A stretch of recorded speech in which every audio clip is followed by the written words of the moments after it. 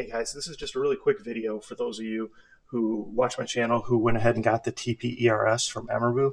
It's on sale currently for about 30 bucks, which is a heck of a deal. Great blaster.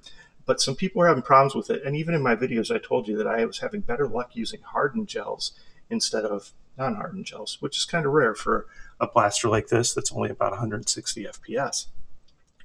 But there's a couple couple reasons why. So these are actually the gels that it comes with. Typically, multicolored gels like this aren't that great, but they work fine in a blaster that's you know under 200 FPS.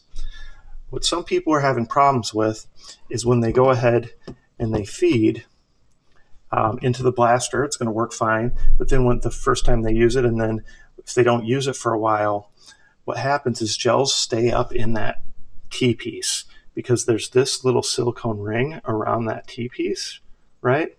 And that actually kind of retains them and holds the gels in there.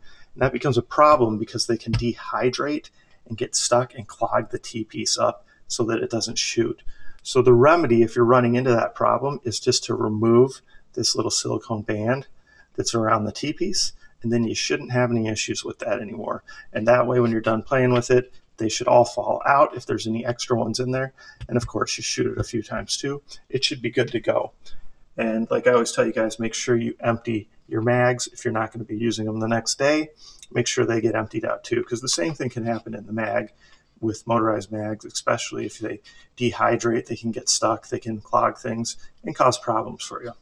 All right, so that was just a quick tip. Wanted to let you guys know that. Otherwise, I think this is still a great blaster. And for $30, I think it's by far the best deal that you can get. At $50, I think it's still a fair price. And that's why I made some of those really cool custom ones if you've seen those on my channel yet. All right, comments, questions, post them below. Like, subscribe, share my channel with your friends, and participate in those monthly giveaways. Thanks.